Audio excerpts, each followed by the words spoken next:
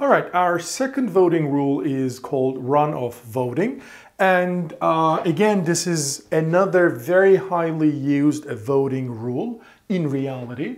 So there are two rounds, all right, different than plurality. There's going to be two rounds. In the first round, each citizen votes for one candidate.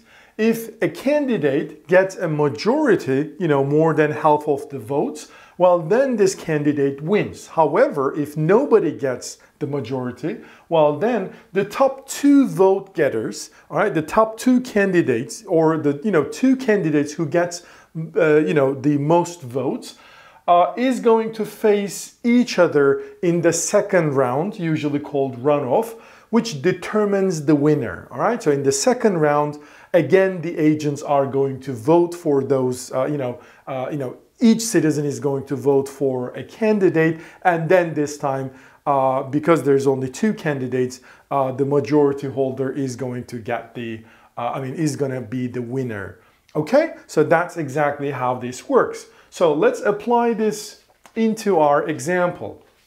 Well, don't forget, once again, uh, in our more general setup, we do not ask our citizens to vote for one candidate. Instead, we ask them to reveal their preferences, uh, uh, you know, truthfully, quote unquote. We ignore the strategic uh, interaction for now. And then we, we say, all right, three candidates, I'm sorry, three voters uh, prefer A to B, B to C, and C to D. So if they were actually voting in a runoff voting, well, then they would be voting for A. Remember, we assume they do not vote strategically. We assume every, everybody votes their uh, uh, uh first best candidate. All right? And, and, and five uh, um, voters would vote for A, and then seven voters would vote for B, and then six voters for C. Well, is there any majority winner? Well, remember we have 3 plus 5, 8, plus 7, 15, plus 6, 21 voters. So what would be the majority? You know, more than uh, 50%.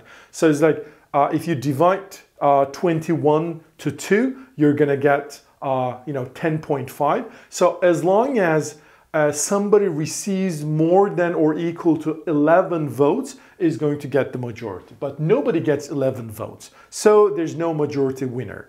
Well, in that, for that reason, in this uh, example, uh, the first round is not going to determine the outcome. The voting is going to go to the second round. All right? So the first round, uh, no winner. However, what happens only two candidates are going to move to the second round. So, which two candidates? Well, the two candidates who get the most votes. Remember, A gets total of eight votes, B seven, C six, D zero. So, therefore, only A and B are going to move to the second round. All right? Well, in the second round, again, in our theoretical setup, we do not need to ask the voters again how they would rank those alternatives because remember we I, I am going to keep repeating this again and again because it's very important. Uh, we ignore strategic voting when we assume that this is the true preferences of the voters. So therefore we don't really need to ask another time how they would rank the alternatives the only thing we need to do is just look at the same rankings but just ignoring C and D, all right?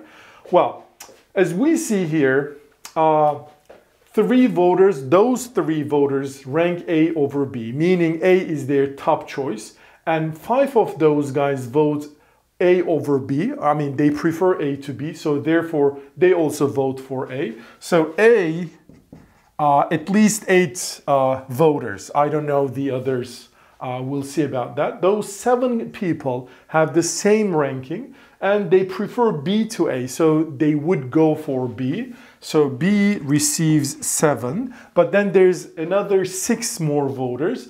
And again, we ignore C, right? In the second round, it's not one of the candidates. So the B is now the top choice for those six people. Uh, in comparison to A, it's better. So therefore, they're going to vote for B. All right, so they're going to vote, uh, I'm sorry, uh, B, I'm sorry, six more voters are going to vote for B, so therefore it's going to be 13. All right, so is there any uh, majority winner? Yes, it is the candidate B. So you know what? According to runoff voting, all right, uh, outcome in example one is B. Okay, remember in plurality it was A because A gets the most votes, but it wasn't a majority. Well, if you choose a different rule, obviously the outcome may be different. Okay, well, this is what happens in example one. In example two, what happens? Well, in the first round, uh, you know, B is going to get eight votes, A is going to get five, D is going to get eight, C is going to get zero votes. So therefore, there's going to be no majority winner. Remember, we need to have 11, at least 11 votes. So therefore, the top two candidates are going to move to the second round. Who are they? In example two, the top two candidates are going to be B and D because both of them have eight votes. And remember, A has only five votes.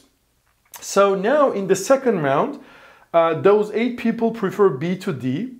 So B gets those eight voters.